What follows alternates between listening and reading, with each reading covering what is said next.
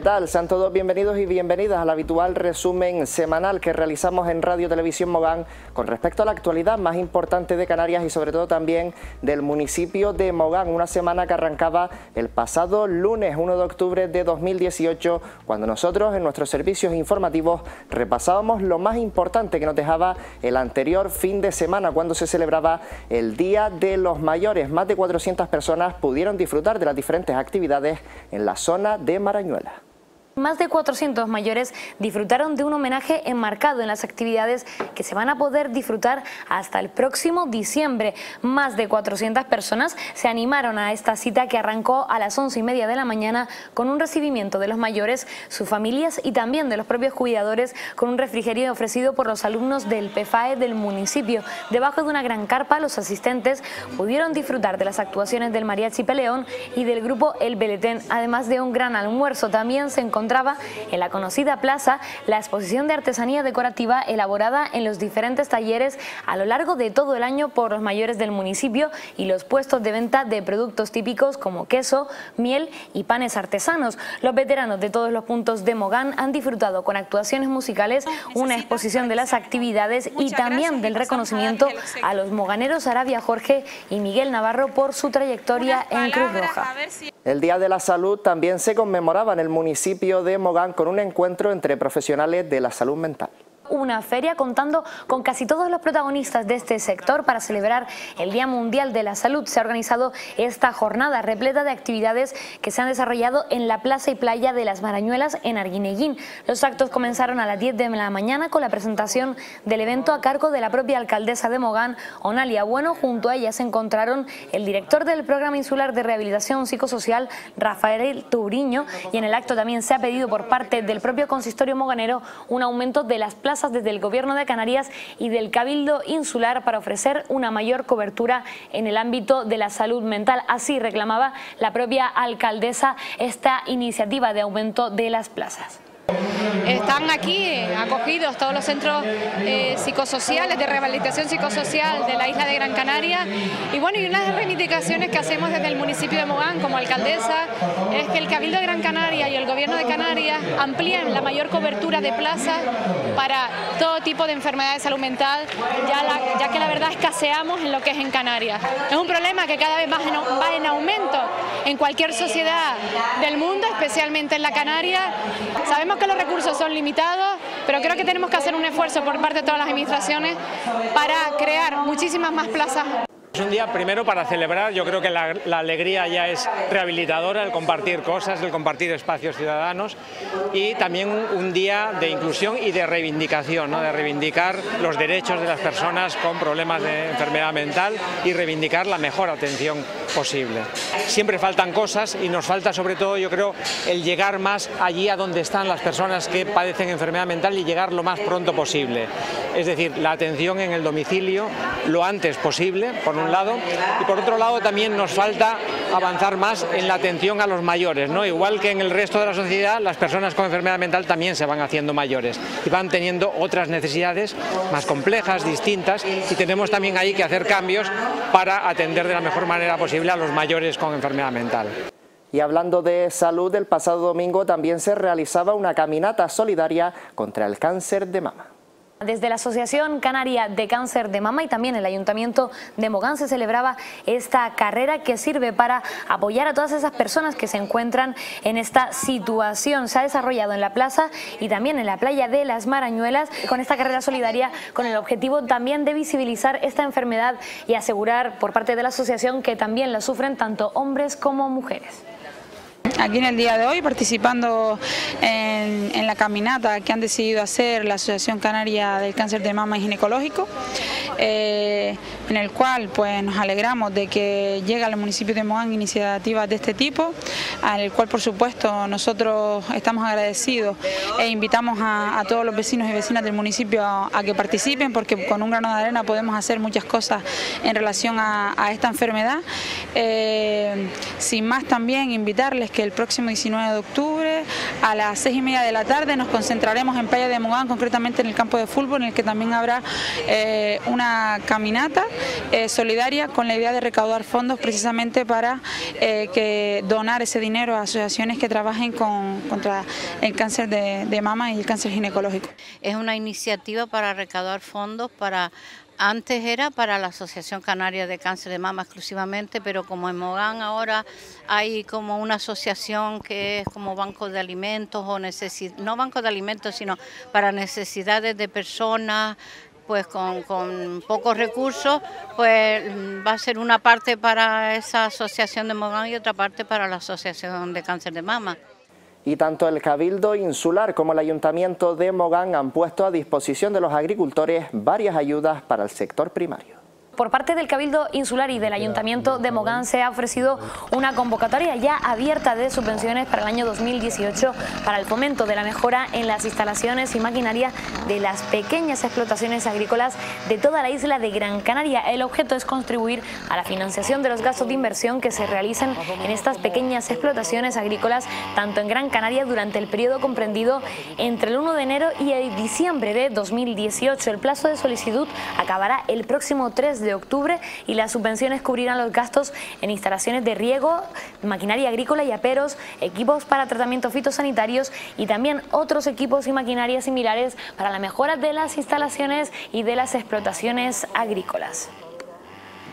El martes, como cada mes, conocíamos datos del paro, en esta ocasión del mes de septiembre, que por segundo mes de manera consecutiva registraba un claro descenso en Canarias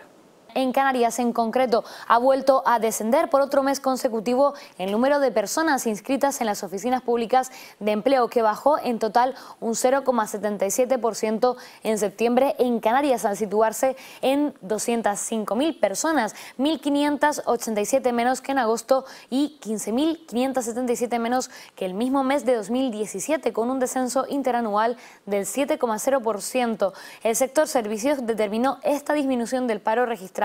en las islas al rebajarse en 2.481 personas, aunque también disminuyeron las de agricultura y la construcción, en tanto que por contra aumentó la del colectivo sin empleo anterior, que anotó una subida de 991 personas. No obstante, los servicios continúan copando la mayor parte del número de desempleados de las islas.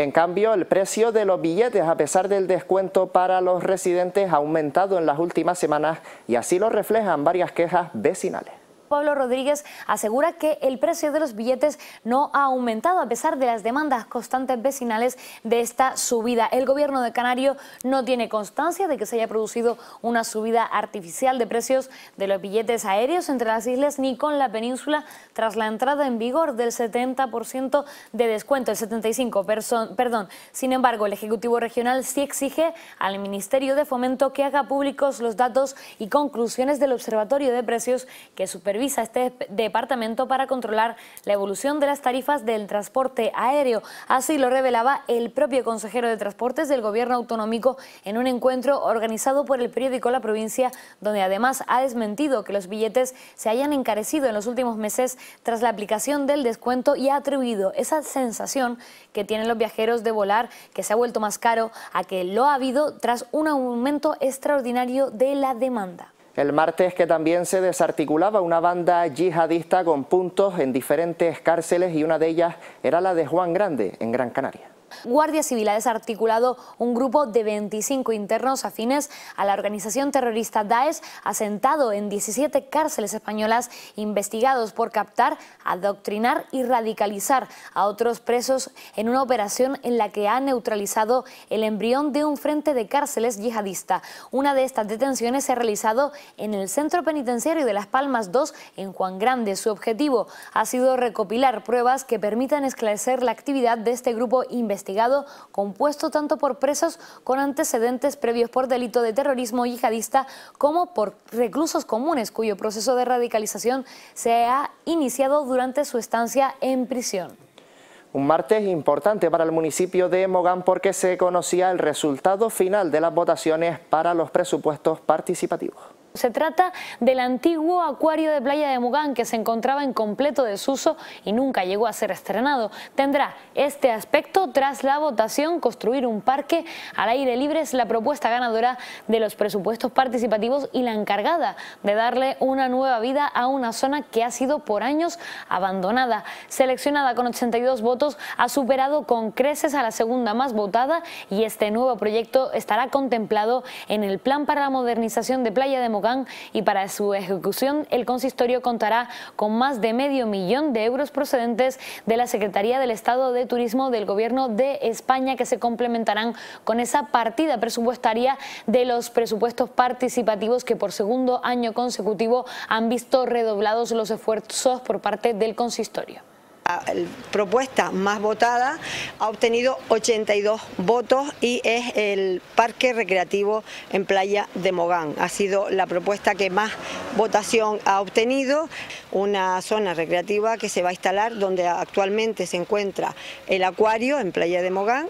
eh, ya se está trabajando dentro del grupo de gobierno con respecto al proyecto que se va a ejecutar en esa zona y ya tenemos eh, una financiación de 500.000 euros que será por parte de la Secretaría de Estado de Turismo. La diferencia del coste de la ejecución de esta obra eh, irá a cargo con los presupuestos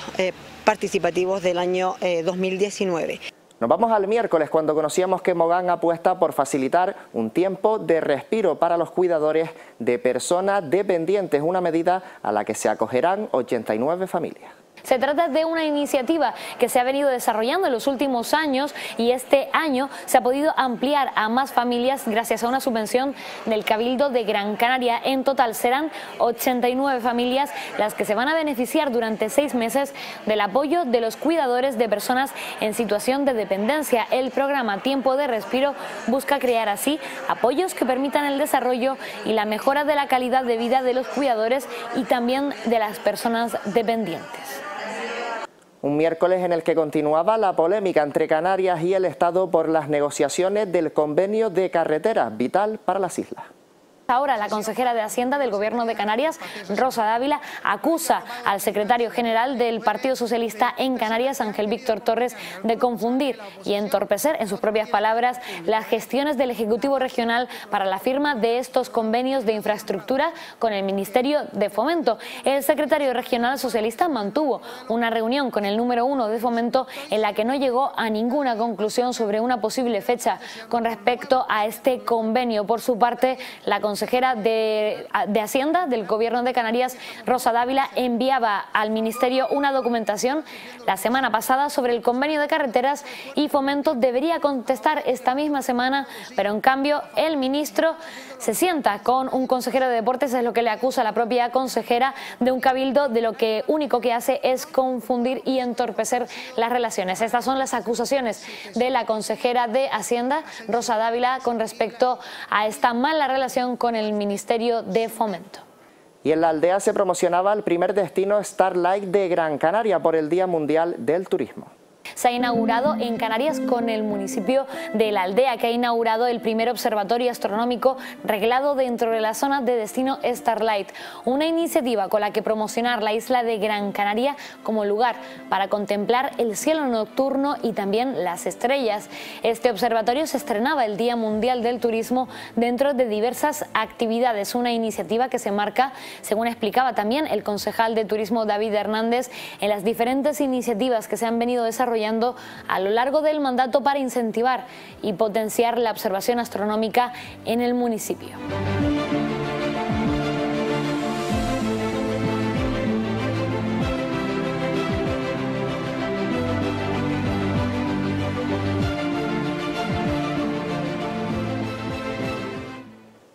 Un día en el que también se conocían todas las novedades para el tercer encuentro de la cronoescalada, una prueba exigente, dura y que reunirá a numerosos participantes.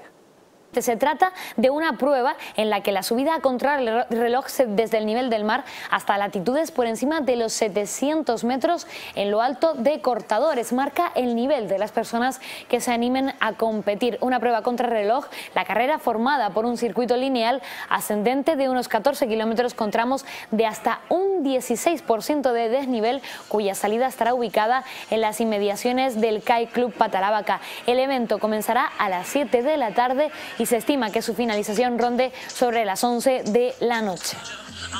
Este fin de semana continuamos con el deporte a las dos ruedas, ya lo hacíamos con el motocross enduro Arguineguín este fin de semana, nos bajamos, ya le quitamos el motor y nos vamos a, la mountain bike. Con esta tercera edición de la cronoescalada Cortadores eh, CAE Club, la verdad que es un evento eh, joven, relativamente joven, en su tercera edición, pero que la verdad que está teniendo un, llamamiento a, número de participación bastante considerable y es una prueba que los, que los bikers pues están esperando año a año después de que se celebrara la primera edición en el, en el 2016. Mm. Una vez más, pues de la mano con, con, la sección de Costa Biker para todo lo que esté en nuestra mano, pues colaborar, ayudar y que todo, todo salga lo mejor posible. Preparado ya para que llegue el sábado, con mucha ilusión, mucha ganas de que todo salga bien como siempre y, y bueno, esperando al día. Tenemos una especial cronoescalada eh, independientemente de las otras que, que, son diferentes, ¿no? son por el día y por eso es el llamamiento tan espectacular que tenemos nosotros para traer a, esos corredores a, que vivan una experiencia nueva. ¿no? Nos vamos rumbo al jueves cuando se presentaba una nueva edición de los encuentros de libros de autoayuda en Mogán que año tras año obtiene un gran éxito se va a realizar este encuentro de literatura de autoayuda de la red de bibliotecas municipales de Mogán. Se va a prolongar hasta el mes de diciembre con la celebración de diferentes talleres gratuitos. Será en la Biblioteca Municipal de Arguineguín y todas aquellas personas que se encuentren interesadas en participar pueden llamar al número de teléfono 928 15 8800 para pedir una plaza para estos talleres que se van a celebrar, como nos contaba la propia concejala de Cultura Grimanesa Pérez, en el municipio. Desde las bibliotecas municipales eh, lo que se ha estado preparando pues es el sexto encuentro de literatura de autoayuda por sexto año consecutivo pues eh, seguimos apoyando este tipo de, iniciativa dado la demanda que tenemos de los usuarios, de los lectores y de la biblioteca pues que, utilizan bastante estos libros de, autoayuda. También pues invitarles a todos, por supuesto, a que participen en esos talleres que pues que tenemos una programación bastante amplia y dentro de esa programación pues tenemos el 5 y el 6 de octubre, 20 y 27 de octubre, 10 de noviembre, 17 y 24 de noviembre y 1 de diciembre, estos sábados por la mañana, en horario de 11 de la mañana, en la biblioteca de, de, de Y hablando de libros, hasta el próximo 25 de octubre podrán presentar sus relatos para la octava edición del concurso de literatura. Diferentes premios para cada categoría, tanto infantil como juvenil y adultos. En infantil de 6 a 12 años, una entrada doble para Sioux City, mientras que la categoría juvenil podrán ganar una tablet y aquella categoría de adultos que sea celebrada será una noche para dos personas en habitación doble en régimen de media pensión y bono de acceso a la talasoterapia del hotel. Último día el próximo 25 de octubre a las 8 y media. Un jueves 4 de octubre de 2018 en el que la empresa global celebraba su 45 aniversario. Un aniversario que se ha conmemorado esta misma semana. Desde el año 2000 comenzaron a recorrer Gran Canaria para unir a los viajeros en todos sus rincones. Las empresas Guagua, Salcay y Utinsa que se unieron en global en ese año 2000. Tras 45 años en la compañía que no ha dejado de experimentar crecimiento en el servicio público que ofrece. Siempre con el respaldo del Cabildo de Gran Canaria, dada su importancia para la cohesión social y territorial de la isla. La compañía ha crecido en estas décadas hasta alcanzar la cifra de 20 millones de personas usuarias al año que se mueven en 310 vehículos con 730 socios y 111 líneas, algunas de ellas impulsadas desde el Cabildo, como recientemente la del vial costero de Telde, que une Salinetas con la capital y la que une también Tamaraceite con la universidad, muy demandadas por los usuarios. Además, ofrece bonificaciones a través de tarjetas mensuales, también tarjetas de ida y vuelta, el bono guagua compartido y la tarjeta guagua joven, todas subvencionadas a través del contrato programa con el Cabildo. Y datos preocupantes de cara al próximo año en el sector turístico porque se espera una bajada del 20% en turistas. Lo han revelado los últimos avances de los informes de la Confederación Española de Agencias de Viaje que señalan que los turistas podrían descender hasta el 15 o el 20% el próximo año 2019 si todo sigue como actualmente en el panorama turístico. Para esta agencia la solución pasa por moderar precios y diversificar los mercados para enfrentar lo que podría ser una caída considerable del turismo internacional. La recuperación de los países competidores como Turquía y Egipto se unen a otras causas como la apuesta por las aerolíneas de bajo coste, sobre todo en el mercado británico, que ha supuesto que los turistas acorten sus estancias en el territorio español. Y hace 45 años que la empresa global nos vamos al viernes, último día a nivel informativo de la semana, cuando llegaba una noticia muy importante para el municipio porque el próximo 15 de octubre se cerrará la carretera Gran Canaria 1 para mejorar y rehabilitar el mal estado del pavimento en la zona de Arguineguín y Pasito Blanco va a estar cerrada desde el próximo 15 de octubre en el tramo de Arguineguín y Pasito Blanco. Por tanto, para los conductores que necesiten desplazarse se han habilitado diferentes alternativas. Si cogemos el coche en sentido Mogán, se podrá continuar el trayecto por el enlace de Pasito Blanco hasta el de Arguineguín, desviándose por la Gran Canaria 500 en salida hacia Arguineguín. Este corte se espera que dure hasta el próximo 19 de octubre, mientras que si venimos desde la capital tendremos que hacia Pasito Blanco en la salida en la Gran Canaria 500 y los trabajos en este tramo se espere que duran hasta el próximo 26 de octubre. La Consejería de Transportes del Cabildo de Gran Canaria va a iniciar los trabajos el próximo 15 de octubre con el objetivo de mejorar el acondicionamiento de la calzada que se encuentra en avanzado estado de deterioro y con grandes socavones y baches en el firme provocados por la gran densidad de tráfico que se registra en esta vía y convocada una sesión extraordinaria para el próximo lunes a partir de las 9 de la mañana en las casas consistoriales de Mogán en la cual se van a dilucidar diferentes aspectos, pero sobre todo lo más importante se encuentra recogido en el acta esa propuesta para aprobar el reconocimiento extrajudicial de crédito de facturas de agua de consumo humano, luz parque móvil, telefonía fija y móvil, además de grúas y otros de aprovisionamiento por un importe de más de un millón de euros. Se podrá seguir, como siempre, esta sesión extraordinaria aquí en nuestros canales y también vía streaming a través de las plataformas online del Ayuntamiento de Tres personas del municipio de Mogán participarán en el programa Juntos Somos Capaces, que realizarán prácticas en el Ayuntamiento de Mogán.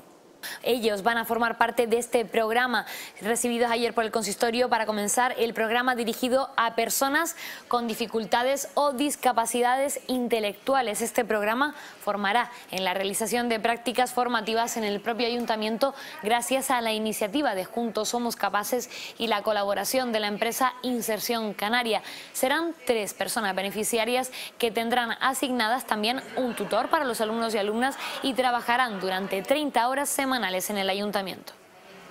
Hoy recibimos eh, por primera vez a las tres personas que van a hacer prácticas durante, algunos durante un mes y otros durante dos meses en las instalaciones municipales del Ayuntamiento de Mogán. Y tenemos como, como perfiles en este convenio que firmó eh, aproximadamente hace un mes para coger a, estas personas en prácticas, eh, a un fisioterapeuta, a un trabajador social y a un asilo administrativo que va a trabajar con nosotros colaborando en, la parte de, lo que es el Ayuntamiento de Mogán, que bienvenido sea todos los recursos humanos que nos puedan venir y que sé que para ellos también es una, oportunidad poder compartir con el resto de trabajadores y ayudarnos a nosotros a sacar el municipio adelante. Eh, hemos estado durante la mañana eh, para que conozcan un poco el funcionamiento y los departamentos que existen en el ayuntamiento y tendremos a, algunos de estos chicos y estas chicas que van a hacer las prácticas en lo que es el centro de día y otros que lo harán en las oficinas municipales. Y los municipios turísticos se unen a la protesta por el bono de residente después de que se haya puesto en marcha en Tenerife y en Gran Canaria todavía no se haya iniciado. Tanto el alcalde de San Bartolomé de Tirajana, Marco Aurelio Pérez, como la alcaldesa de Mogán, Onalía Bueno, han asegurado y ha exigido al presidente insular, Antonio Morales, que ponga en marcha ya este bono residente canario y no frene esta iniciativa por cuestiones administrativas. De hecho, se calcula que el ahorro de una persona que viva en Las Palmas de Gran Canaria y trabaje en el sur de la isla, tanto en Mogán como en Maspalomas, podría ascender este ahorro a 338 y 223 euros mensualmente. El Cabildo Gran Canario aplicara este bono de residente canario en las mismas condiciones que lo está haciendo en el de Tenerife, que sería una tarifa plana de 47 euros mensuales. Por su parte, el Cabildo Gran Canario asegura que son trabas burocráticas y por ello todavía no ha puesto a disposición de los usuarios este bono de residente. Esto es todo por nuestra parte, les dejamos con nuestra programación habitual, ya saben que nosotros volveremos con nuestros servicios informativos el próximo lunes a partir de las 3 de la tarde de nuevo con nuestra compañera Sabina Ortega. Hasta entonces, que pasen todos un muy buen fin de semana.